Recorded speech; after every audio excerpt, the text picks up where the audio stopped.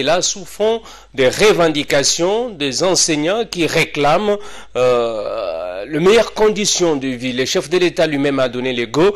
Euh, nous en parlons maintenant. Des véritables questions de fond se posent par rapport au calendrier, au temps qui nous reste pour la fin ou la clôture de l'année euh, 2019-2020, mais également euh, ce qu'on a comme qualité, ce qu'on donne comme enseignement à, ces enfants, euh, aux élèves. Voilà donc euh, le thème principal de ce magazine, mais n'oubliez pas également que nous sommes pendant la période de Covid, la Covid-19 qui a euh, remporté, qui a menacé, continue d'ailleurs de menacer les économies mondiales et la République démocratique du Congo euh, n'est pas épargnée.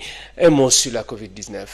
Déjà, euh, c'est une maladie que nous allons apprendre à vivre avec. J'insiste toujours que nous devons avoir l'habitude, hein, comme les autorités l'ont déclaré, que d'avoir toujours euh, nos cache-nez, hein, donc, euh, et aussi euh, de respecter les distanciations sociales et les gestes barrières, comme on les a, on les a toujours prônés. J'insiste encore une fois de plus, et surtout que dans ces moments de, de la rentrée, où les élèves ou bien les étudiants vont pouvoir reprendre le chemin de, des auditoires, devons faire vraiment attention parce que la maladie est réelle, la maladie, la maladie existe. Euh, Jusque-là, ça nous a pris de cours. hein, voilà, on n'était pas habitué à ce genre de, pandémie. Et voilà, vous verrez que même en Chine où ça a commencé, que ce soit aux États-Unis ainsi de suite, nous, apprenons à vivre avec la maladie parce qu'il n'y a pas encore un traitement efficace, Efficace. euh, pour euh, faire face à cette maladie. Nous devons essayer de nous réadapter et surtout essayer de sensibiliser la population parce que la maladie est réelle, elle tue. Et surtout que les églises vont reprendre déjà ces, ces- ces 15 euh, août, conformément au programme tracé à la décision des autorités. Euh, il faudrait que les églises prennent également de, de- de mesures de protection. Effectivement, pas seulement le, le- le- quoi, les, églises, aussi des boîtes de nuit. Hein? Je sais que les le pasteurs sont un peu têtus de ce côté-là. Ils, nous veulent, ils se croient comme étant. Il n'y a euh, pas que le pasteur, le, le- le conducteur de véhicule ne, ne Effectivement. respecte pas non Je, plus. je vous explique, que c'est là où je veux, je veux, je veux en arriver. Ça, c'est le, le, le droit et les objectifs majeurs qui sont assignés, que le chef d'État de l'État a assigné aux autorités compétentes pour essayer de faire respecter le geste barrière. Écoutez, je suis médecin de formation, j'ai une expérience par rapport à ces genres de de, de, de, maladies euh, voilà qui, nous arrivent euh, faut faut rappeler qu'on a nous vivons avec euh, l'Ebola alors si on, ne respecte pas les gestes barrières si les autorités ne ne font pas respecter le, le mesure que les autorités sanitaires ont mis sur place, ça va être un grand problème. Alors, ça risque de nous, euh, de nous détruire. Alors, la raison pour laquelle j'en interpelle aux autorités commises euh, à, cette, euh, à cette tâche, je- je- j'en interpelle le, le- quoi, journal Kassongo qui fait un travail énorme. hein. Il faut vous rappeler, ce n'est pas facile de gérer des crises de temps à autre. Il faut vous rappeler que la capitale, euh, c'est comme une ville touristique où les gens doivent venir de partout, euh, ainsi de suite, mais qui a aussi beaucoup de défis à relever à ces côtés-là. Il doit essayer à un certain moment de former, essayer de former les, les, les, quoi, les équipes qui descendent sur place. J'ai vu à un certain moment les équipes de la police qui descendent sur place pour essayer de faire respecter la loi, pas dans la répression, mais euh, d'abord essayer d'informer. Quand vous informez les gens, ils comprennent, parce qu'il y a des gens qui n'ont pas de télévision chez eux à la maison, qui n'ont pas de poste téléviseur ou bien de, de, de, de radio, même pas de, de quoi, de- des appareils euh, euh, Android comme les appelons, mais qui ont difficile, qui ne savent pas qu'est-ce qui se passe. Alors il faut les expliquer, aller d'abord dans l'explication, dans l'information, que d'aller directement dans la répression. Et là, j'en Et, euh, interpelle. c'est- Le, le gouverneur de la ville a même euh, dit aux, aux églises, hein, si euh, l'église qui ne va plus respecter le geste barrière, il, il est exposé à des amendes. Effectivement, bah, parce qu'il il il doit être très dur envers eux, parce que envers elles, hein, donc parlons des, des églises. Quand vous regardez en, en Europe, par exemple, hein, donc je, je prends juste euh, cet, cet exemple-là, que ce soit aux États-Unis, il y a le match de football qui se joue. Vous verrez que les stades sont vides. Pourquoi? Parce que mais cela n'empêche que le- les joueurs puissent s'affronter, que les équipes puissent s'affronter. C'est pour éviter qu'il y ait la propagation de la maladie. Parce que il faut vous rappeler que on n'a pas de structures euh, euh, importantes ou bien des structures euh, habilitées hein, pour essayer si on a 500 malades aujourd'hui qui se déclarent le même jour pour essayer de les prendre en charge. Et là, il y a un problème. Déjà, on a un problème de de, de, de quoi? De de, de, de- de médecins, de personnels qui ne sont pas payés, de, de la médecine qui ne sont pas payés. Alors, je voudrais qu'il y ait euh, euh, une information au chef de tous les pasteurs. Ils doivent d'abord expliquer Dieu agit. Mais cela n'empêche la prudence. La prudence, il faut essayer de sensibiliser, informer les pasteurs qu'ils ne doivent pas oublier les gestes barrières. Ils doivent prendre quand même des distanciations sociales. Je sais que ce n'est pas facile. Mais Il faut faire si- même trois kilts, hein. Effectivement, effectivement, pourquoi pas? Pourquoi pas si on a une église de, de, de, de 500 personnes par exemple, puis euh, on peut prendre euh, peut-être 125, 125, tout ça, essayer d'adapter les, cultes, parce que il faut vous rappeler que la maladie est réelle. On a perdu en Belgique par exemple euh, un évêque, on a perdu une bishop qui est décédée. Ici, on a perdu aussi. Vous vous rappellerez bien que dans l'église de Maman Olangui, on a découvert plus de 50 personnes qui étaient contaminées. Tout ça, c'est parce que les gens sont têtus. Alors, cette fois-ci, je pense que la loi va être respectée. Nous allons prendre conscience et puis... Docteur, c'est vrai, mais euh, on on parle de reprise des cours. euh, les écoles euh, reprennent petit à petit, d'abord pour les, finalistes, mais euh, dans ces conditions-là, nous savons que nous avons des classes pléthoriques avec un nombre euh, très élevé euh, d'élèves. Comment ça va se passer quand vous parlez de, la distanciation dans une école qui a quatre ou cinq locaux et que vous êtes obligé, par local, vous avez 60, euh, 60 enfants, comment ça va se passer? C'est vrai que c'est pas facile. C'est pas facile du, point de vue personnel. En tant que parent, j'aurais demandé, je l'ai même dit euh, euh, sur d'autres plateaux de télévision, que monsieur le ministre de l'EPST euh, n'a pas vraiment, euh, excusez-moi l'expression, mais et- et n'a pas vraiment expérimenté ou bien n'a pas pris euh, des mesures importantes ou bien n'a pas eu une équipe qui pouvait vraiment bien le conseiller. Nous faisons les choses à la hâte. Il faut vous rappeler que lui-même, il est euh, géniteur de quelques écoles ici à Kinshasa, ouais. le promoteur. Euh, normalement, il y a une compatibilité. Bon, je mets ça de côté. Mais imaginez que je vais, je vais aborder ça sur deux, deux, deux, euh, deux étapes. Allez-y. D'abord, il y a un problème avec les parents qui ont déjà dépensé de l'argent. Il y a les élèves qui ont déjà app- comment, euh, consommé euh, les, les trois quarts de leurs études. La reprise n'est pas tout à fait mauvaise de ce côté-là. Mais la façon, la méthodologie qu'ils vont utiliser, ça, ça crée des problèmes. De quelle manière? Parce que, imagine maintenant, vous l'avez souligné, que nous avons une, une classe qui a 60 élèves. Quand vous avez une classe qui a 60 élèves, mais on aura de grands problèmes de structure des bâtiments. Des bâtiments. Parce que les élèves doivent suivre les, les cours en simultané. Soit il y en a qui viennent le matin, soit il y en a qui viennent les, les après-midi, soit il y en a qui viennent. Or, or, le- le généralement, dans les établissements ici, il y a ceux qui font déjà le matin et ceux qui font l'après-midi. Là, il y a un problème. Il y a un problème. Il y a un problème parce que nous n'avons pas. Imaginez qu'il y a une école qui a peut-être euh, que 12, euh, 12 bâtiments, 12 classes. Et que maintenant, vous avez l'obligation que tous ces élèves-là puissent suivre le cours en simultané parce qu'ils ont vraiment, euh, ils sont avides de reprendre les, les, les- les études. Ça va qu'il y ait un problème d'avoir des structures. Alors, si c'était comme ça, ça fait quand même quatre mois que nous traversons cette euh, euh, pandémie. Qu'est-ce que le ministre a pris comme décision? Qu'est-ce qu'il a pris comme stratégie pour essayer peut-être de créer encore d'autres euh, d'autres bâtiments, d'autres structures, pour essayer de, de reprendre tous ces élèves-là? Là, il y a un souci. L'éducation fait partie des, des- projets, des sociétés, des, des chefs de l'État. Effectivement. Il faut le moyen, il faut que le gouvernement dispose des moyens. Ça, ce n'est pas au niveau de, du gouvernement, de- des ministres. Et, et- et là, nous rentrerons maintenant au chef du gouvernement. Nous avons un chef du gouvernement qui, lui, doit gérer toutes les crises au quotidien. Les gens citent ou bien sautent le plus souvent le chef, le chef du gouvernement, qui est M. Euh, Ilunga Ilukamba, qu'on ne vraiment sent pas dans le cadre de ses actions, le chef de ses actions. Mais on voit directement le chef de l'État. Mais le chef de l'État, il a donné l'impulsion. Il est, c'est une locomotive. C'est lui le leader. Il a dit bon voilà, euh, nous devons mettre- allouer beaucoup de fonds dans l'exercice de, dans le chef de, des écoles, des institutions, ainsi de suite. Mais il y a l'exécutif quelque part. Mais M. Lunga Lukamba, qu'est-ce qu'il fait? Le gouvernement, qu'est-ce qu'il fait?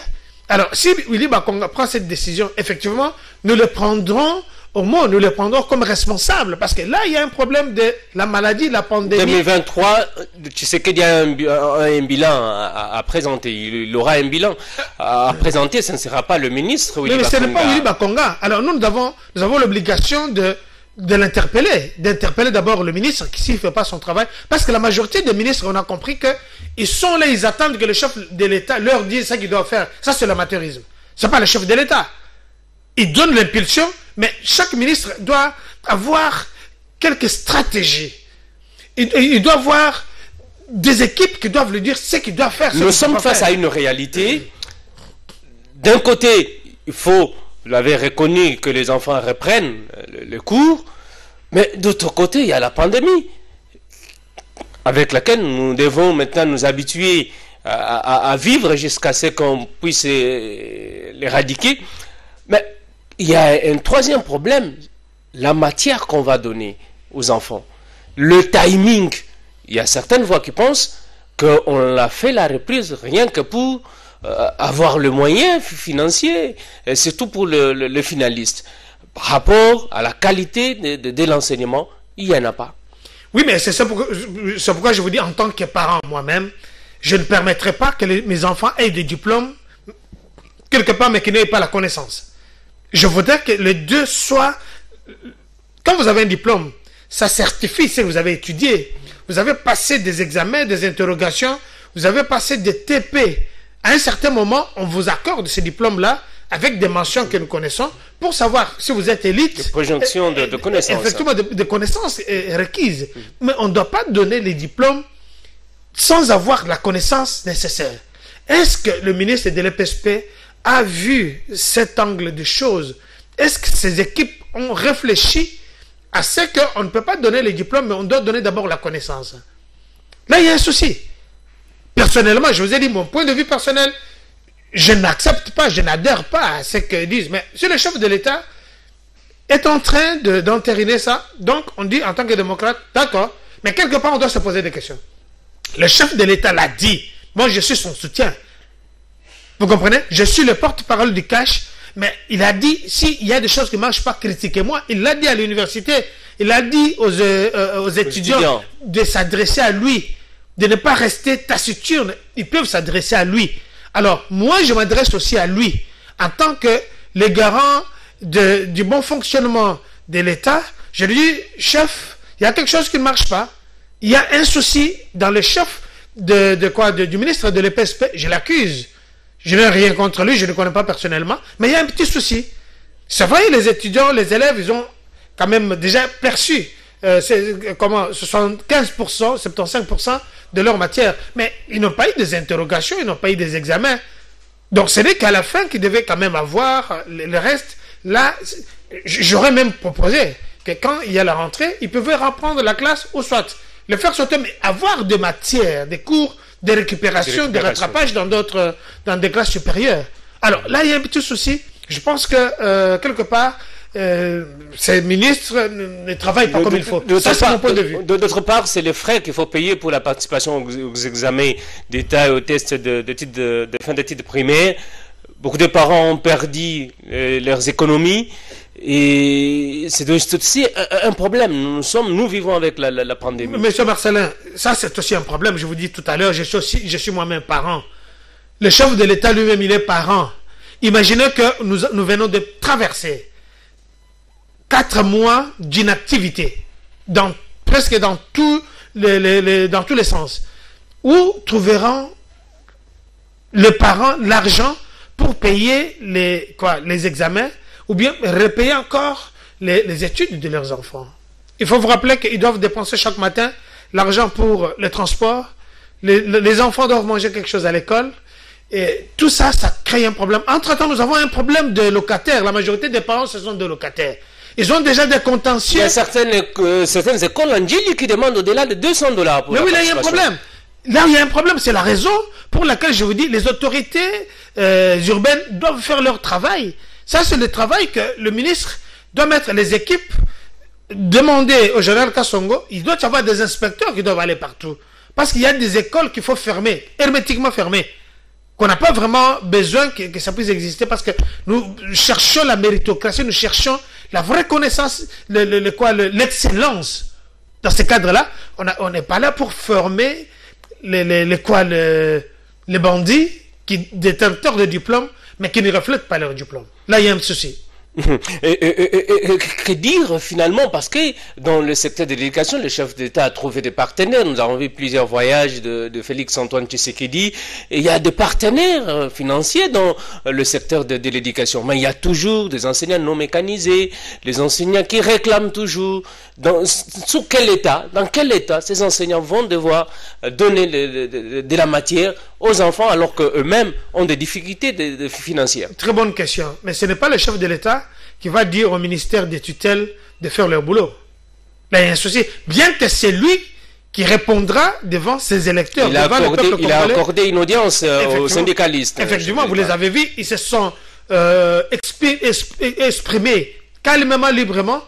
Et là, il y a un travail qui va être fait. Mais les syndicalistes doivent être accompagnés. Je vis hier une euh, charmante maman qui a plus de 75 ans, 75 ans, euh, qui a commencé l'enseignement à 20 ans. C'était, je pense, euh, à Liste Gombe, quelque chose Gombe. comme ça. Elle s'est exprimée, il a démontré au chef de l'État qu'il y a beaucoup de problèmes. Et tout ce temps, ces problèmes persistent, que ce soit dans l'ancien gouvernement, que ce soit le chef de l'État qui vient de prendre le, le quoi, la tête de, de ce, de ce pouvoir, mais il y a des choses qu'il ne savait pas, qu'on ne l'avait jamais dit. Et là, la maman... Deux ans après, deux ans après, au sommet de l'État. C'est pourquoi je vous dis, le chef de l'État ne va pas être partout. Quand on a lancé, l'exemple, on a lancé Kin Bopeto, c'est pas le chef de l'État, on l'a mené. Hein? Je peux vous dire dans cette aventure, mais regardez un peu partout, est-ce qu'elle est effective, cette euh, Kin Bopeto qu'on a de crier? Alors, le chef de l'État ne peut pas être partout. Donc, seul il ne peut rien. Mais avec l'appui et le concours de tout le monde, nous pouvons aider notre pays. Il ne faut pas que les gens voient toujours politique, mais qu'ils ne voient pas le social, qu'ils ne voient pas les actes qui aident, qui peuvent sauver. Parce que imaginez, nous avons un grand problème, je vais vous ramener là-dessus, un grand problème de malaria. Mais comment on peut avoir la propagation de malaria quand nous ne pouvons pas assainir notre environnement? Il y a les caniveaux qui sont bouchés, il y a les stagnations des eaux usées, ainsi de suite. Tout ça, ce sont des réservoirs. Là où le- les moustiques doivent venir pondre, et puis et a- là, il y a un souci. C'est pas le chef de l'État qui doit aller partout. À un certain moment, comme il avait dit qu'il a son style, son bic rouge, moi je lui ai demandé que je vais l'acheter quelques bics rouges de qualité allemande, pas de qualité chinoise. Comme il a commencé à. Vous comprenez que le, le, le, le- le stylo rouge, le chef de l'État n'a pas encore commencé Ça a à... déjà commencé, ça a déjà commencé, mais je voudrais que ça puisse s'étendre partout. Directement, quand le chef de l'État, la maman parlait hier, le ministre de l'EPST était présent. Il n'a pas dit mot. Quand la maman là, de, de- de l'enseignante parlait, vous voyez qu'il y a beaucoup de soucis d'abord dans la communication. C'est, un vrai euh, diplomate, le chef de l'État. Vous l'avez, suivi. Il a essayé de ramener tout le monde. La maman devait, la dame devait être reçue aujourd'hui. Et par après, il devait recevoir les autres pour voir ce qui se passe. Pourquoi les autres ne sont pas mécanisés? Ce n'est pas seulement les enseignants. Même dans les chefs de, quoi, de médecins. Il y a beaucoup qui ne sont pas mécanisés. Et là, je dénonce aussi qu'il y a beaucoup de médecins, avant de le mécaniser, il doit donner un pot de vin à une telle personne qui doit le mécaniser. Donc, si l'argent ne vient pas, donc là, ce sont... On va essayer de Alors, euh, ça. docteur Conconde, Jean-Baptiste, vous, vous dites que le chef d'État a besoin du concours de, de tout le monde. Pourtant, il est dans une coalition, mais dans la coalition FCC Cash, un mariage, je ne dirais pas contre nature, mais on, a du mal à s'entendre. Il y a un groupe de députés, euh, de, de, d'opérateurs politiques qui ont pensé qu'il fallait passer au dialogue, mais déjà le FCC dit non. Il n'est pas question du dialogue. À ce moment-là, cette unité dont vous recherchez autour du chef de l'État, on n'aura pas cette cohésion. Euh, vous savez que le chef de l'État, même euh, sans FCC, va réussir ce mandat. Parce qu'il a le peuple avec lui. Ça, c'est un.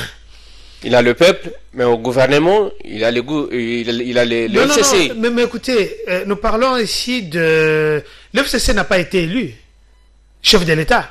Il y a un chef de l'État qui a été élu, c'est lui qui devait rendre compte de ses actions vis-à-vis du, euh, euh, en face du, du peuple congolais. Le FCC, vous, vous le connaissez mieux que moi. C'est vous Je- qui les connaissez parce que vous, vous êtes avec eux. Tout le monde connaît l'FCC. C'est quoi les. Je, vous demande que qu'il y ait cinq membres de FCC qui sortent ici à, à- au grand marché, vous verrez quel sort on va les réserver. Qu'ils aillent même en Dili ou quelque, quelque part, sans garde du corps, ainsi de suite, vous verrez. Ils sont, ils sont partout. Je vous dis que, Ils sont, ils font des meetings, je- ils je- ont, ils ont marché. je, je vous dis que vous êtes euh, sans ignorer que FCC, c'est comme la Mouka, ils sont, ils sont dépourvus de substances. Ils ont, ils ont, ils ont, l'FCC. ils, ils- ils ont mobilisé. Je- N'oubliez dit- pas, ils ont mobilisé à Kinshasa.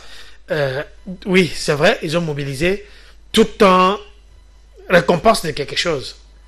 Je peux le faire aussi. Il suffit que je sorte avec euh, une mêlette d'argent ici, vous verrez que je vais mobiliser les- le peuple. Ils, ils ont essayé d'appauvrir ce peuple pour que clochardiser ce peuple, pour qu'à la fin, euh, votre bourreau, vous lui donnez un petit rien et puis vous, vous, vous Ça, pas- c'est un problème. pas- Je, je vais, re- je- je vais revenir. euh, Non, c'est pas par respect. Vous verrez qu'en en Europe, bien partout, quand l'UDPS sort ou bien quand le prenons en charge, bien, vous verrez qu'ils n'ont pas besoin de sensibiliser avec l'argent contre quelque chose. Mais est-ce que c'est pas de la malhonnêteté de votre part? Vous, je parle ici, cash. D'un côté, vous traitez le FCC d'un bourreau de la population ou du peuple congolais, mais de l'autre côté, vous êtes en alliance avec le bourreau. Je, vais reprendre là-dessus. hein. C'est une question traitante, mais je voudrais euh, faire un petit toilettage technique. vous vous m'avez d'abord dit, poser la question par rapport aux 13 apôtres ou bien autres. Mais ces gens-là, d'abord, ce sont, la majorité, ce sont de, euh, des élus députés. Ils ont le droit, en tant que Congolais, de réfléchir sur ce qui bloque. Pourquoi ça bloque? Pour quelle façon, quelle manière pour- pourrions-nous trouver des solutions à ces problèmes-là Nous avons eu dans ces pays beaucoup de dialogues.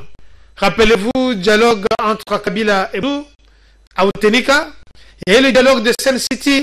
Sen City 1, Sen City 2. Il y a eu des dialogues. Vous avez vu, Jean Perrin qui doit avoir euh, plus de 400 militaires à à son chef, Zazare, Surberwa, les autres. Il y a eu les dialogues. Ça n'a rien rapporté. Il y a eu les dialogues de euh, Congo Central, tout ça, ça n'a rien rapporté. Je dis qu'en tant qu'enfin, le dialogue doit rester permanent. Et à ce moment ici, on a besoin de dialogue, non. L'objectif de ce dialogue, c'est quoi? Mais le fait que nous avons 12 apôtres, mais il faut vous rappeler que dans ces 12 apôtres, il y a aussi Judas et aussi dedans. Ah bon? Vous connaissez le rôle de Judas? Ah. Vous connaissez aussi que nous avons aussi un Pierre dedans. Vous connaissez de Pierre. Alors, ils sont, ils sont, ils sont libres. Qui est Ja et qui est Pierre? Je- je- Suivez mon regard. Suivez mon regard. Allez-y. Suivez mon regard. Alors, vous vous comprendrez que Judas, son rôle, c'était d'abord euh, l'émisolo. Et puis, euh, lui, c'est un brutal. Voilà, il est prêt à tout. Alors, comprenez ce que je vais dire. Le dialogue doit être permanent. Ça, c'est tout à fait normal. Mais est-ce que c'est nécessaire d'amener le dialogue au dialogue? Rappelez-vous aussi le dialogue de, de Seko avec quoi et ainsi de suite. Ça aboutit- concertation ça- ça nationale. aboutit à quoi? Ça aboutit à quoi? On ne peut pas accéder au pouvoir par dialogue, non. Mais si le dialogue doit nous permettre à ce que vous n'avez pas euh, été élu, euh, mais permettez d'autres de bien travailler, comme ça, attendez votre, votre, tour. Là, ça va. Ah, Ce c'est- n'est pas le dialogue pour essayer de partager le poste ministériel. Ça, c'est bien révolu. Et nous, à cette logique-là. Là, Les vous, autres- là, vous soutenez, vous, vous soutenez finalement le, la démarche du FCC. qui, Au Premier ministre, c'est pas question. Non, écoutez, le, le, le, le- quoi, le FCC va dire au Premier ministre des injonctions au Premier ministre, c'est de quelle manière Donc, le Premier ministre ne travaille pas ils sont Non, majoritaires. mais ils majoritaires. donc le Premier ministre ne travaille pas pour la, les Congolais, mais il travaille pour l'FCC, pour une frange d'individus, parce que leurs intérêts personnels. Là, c'est un grand problème. Là, c'est un grand problème. Et voilà, c'est ce que je, je démontre au peuple congolais. Voilà l'FCC. Je n'ai rien contre l'FCC, nous sommes avec eux dans la coalition. Mais vous, vous, vous, êtes de dire non au dialogue qui peut aboutir à, à la formation de nouveaux gouvernements. Et quand le FCC les dit, non, ils sont mauvais. Je dis, euh, l'FCC c'est une corporation, c'est une plateforme a ses valeurs que je respecte. Je dis bien que nous, nous sommes en démocratie. Bien que la démocratie, c'est toujours un processus. L'FCC a droit de faire ses analyses, de faire... Là, j'accorde. Mais le problème, c'est qu'ils ne peuvent pas donner les injonctions à un Premier ministre de la République. Que ce soit de l'autre bord, que ce soit des FCC, ce soit des cages, que ce soit de, d'un indépendant. Il faut vous rappeler que le chef de l'État sortant honoraire, Kabila, était, s'était présenté aux élections passées en tant qu'indépendant. Il ne représentait pas une euh, frange d'un parti politique. Vous comprenez? Donc, quand il travaille, normalement, dans la logique, il doit travailler pour, les, pour le pays. Comme le chef de l'État actuel, son Excellence Antoine Tshisekedi, il n'est pas du de l'opposition ou bien du parti au pouvoir, non. Il est le chef, il est au-dessus. Donc, le pauvre, les orphelins, les riches, ainsi de suite, c'est lui leur chef. Alors, Depuis ces solutions, parce qu'il y a méfiance, on peut l'observer bien, entre euh, le FCC et les caches. Dans ces contextes, comment faire sortir la RDC euh, euh, de, de cette crise en vie permanente? Euh, effectivement, euh, c'est une bonne. Je vous ai dit tout à l'heure que euh, la FCC doit jouer un rôle euh, important. Il y a beaucoup de professeurs, il y a des ingénieurs, beaucoup de, hommes politiques que je respecte, comme le professeur Bouchab, euh, comme euh, il y en a beaucoup, je ne veux pas euh, citer tout le monde ici. Mais à un certain moment, ils doivent savoir qu'ils doivent travailler pour le pays. Comme une personnalité comme la mère Mende, très intelligent, et ainsi de suite, mais il doit travailler pour son pays, pas pour un individu. Et je vous dis encore, ils doivent laisser M. Kabila calme, s'occuper de sa famille, de ses enfants. Ils nous disent qu'il sacrifié sa jeunesse pour ce pays, mais à un certain moment qu'on le laisse tranquille. Mais ces gens-là ne sont pas capables de se prendre en charge. Vous comprenez? Euh, À tout moment, ils essaient de mettre le, bâton dans le roue, le pot de banane. C'est-à-dire que le peuple observe, le peuple congolais est déjà mûr. La raison pour laquelle, s'il y a quelque chose qui se passe, regardez, nous avons notre euh, euh, Vital euh, Kamere, il se trouve là où il est, je salue, qui a, comme le chef de l'État l'avait dit, même si vous êtes Manama Inanga, ce n'est pas moi qui va vous arrêter, c'est l'État. Il est tombé, ça nous fait mal, mais quand même, c'est deux points qui est parti, mais ça doit donner hein, la matière à réflexion aux autres. Euh, Merci beaucoup. Kika Bin Karobi qui a tweeté qui dit le pays navigue à vue. Et là, ils sont en train de former euh, le jeune du PPRD pour récupérer le pouvoir et le conserver plus longtemps 2023. Votre dernier mot Non, mais écoutez, te- je ne veux pas laisser passer ça. Kikaya, il n'est pas un modèle. Il, il a fait quoi? Imaginez de, tous les mandats qu'il a, qu'il a reçus. Est-ce que vous pouvez me dire une réalisation que Kikaya Bin Karoubi a donnée aux Congolais? Ça, c'est une ineptie. Quand il va demander aux jeunes de relever le pouvoir, c'est-à-dire que les vieux ont échoué. Suivez cette logique-là. Et les jeunes qu'il est en train d'appeler, c'est quels jeunes Qu'est-ce qu'ils ont donné dans, mis dans la tête des jeunes? Ce sont des questions qui doivent se répondre. Alors, une personnalité comme ça, qui fait des tweets comme ça, je pense qu'il il est, temps qu'il puisse les en. Mon dernier mot, c'est que nous avons l'obligation de soutenir le chef de l'État, qui est, vous l'avez vu au campus euh, euh, euh, à l'université de Kinshasa. Il s'est exprimé à ce jeune-là. Ce n'est pas le- seulement les jeunes là, qui, les étudiants qui étaient venus. Vous avez vu même le Bado, même d'autres personnes qui étaient autour de des universités qui sont venues. Vous l'avez vu un peu partout. Il travaille. Lui n'est pas dans les invectives. Ceux qui ont apporté les propositions, qui font leur station par rapport au dialogue, c'est leur droit. Merci, Et merci, les accorder. merci beaucoup. Gilles. Vous êtes euh, Jean-Baptiste Kankonda. Merci, président du parti politique. Prenons-nous en charge. Un parti allié de l'IDPS, membre de, euh, du CACH, hein, la plateforme qui soutient le chef de l'État. Madame, Messieurs, merci de votre sympathique attention. Je vous retrouve très prochainement avec un nouveau numéro de votre magazine Le Changement. Portez-vous.